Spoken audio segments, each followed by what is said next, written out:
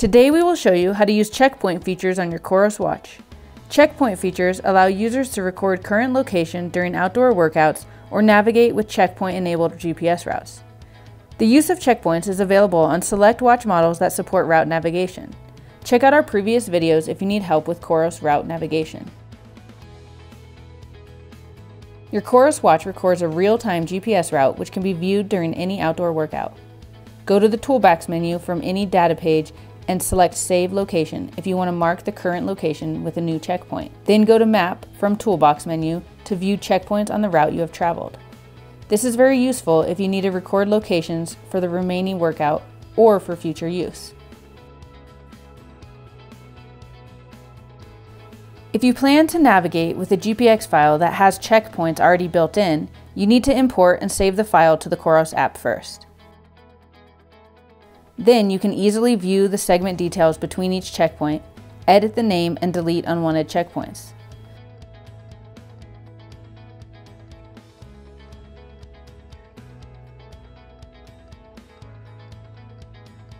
During the route navigation, a dedicated checkpoint page will show up and display the remaining distance and elevation to the next checkpoint. These checkpoints will be marked in orange on the route and elevation profile pages.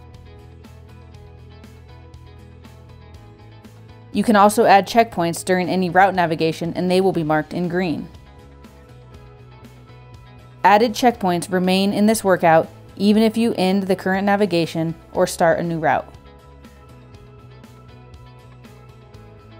Once the workout is finished and the data is synced to the Coros app, checkpoints can be viewed on the Workout Details page.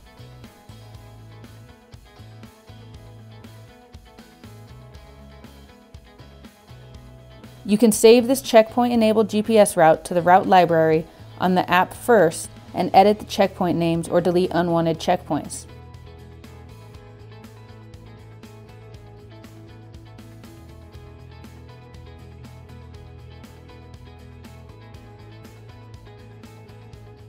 You can also export and share this route via GPX format.